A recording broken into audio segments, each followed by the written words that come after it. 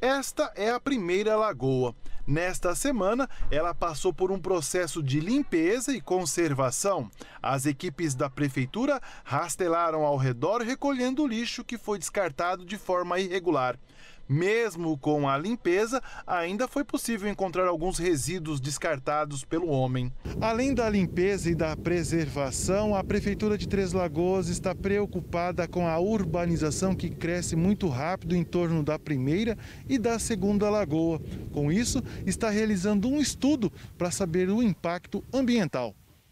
Por ser difícil o acesso, a primeira lagoa não sofre tantas ações do homem, mas o crescimento urbano preocupa. O que antes era sítio, o cenário já contrasta com a modernidade de alguns prédios e as residências que avançam para a área de conservação ambiental.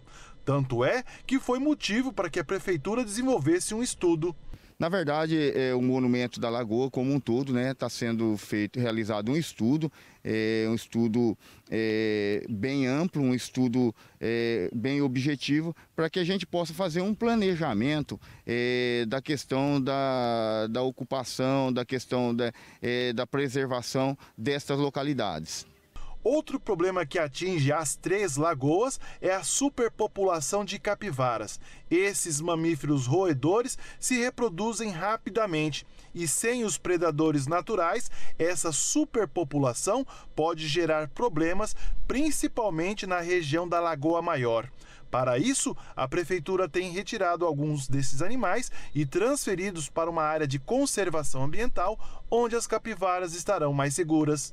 Na verdade, é, nós fazemos um manejo, né? tem a equipe técnica nossa é, da Secretaria de Meio Ambiente, que é o Flávio Fardim, que é responsável, é, é feito um acompanhamento né, populacional dessas capivaras, é, principalmente na Lagoa Maior, e quando se nota uma população elevada, onde as mesmas começam é, buscar alimentos, principalmente na parte central, é, acende um alerta que a própria secretaria possa aí estar tá fazendo o um manejo e a remoção de alguns indivíduos. São levados para uma é, reserva ambiental, né, natural, é, de Cerrado, que é de responsabilidade da Secretaria de Meio Ambiente, que é o Parque do Pombo. Então, dessa forma, ela é levada de forma segura e para um local, local seguro, que é o seu habitat natural.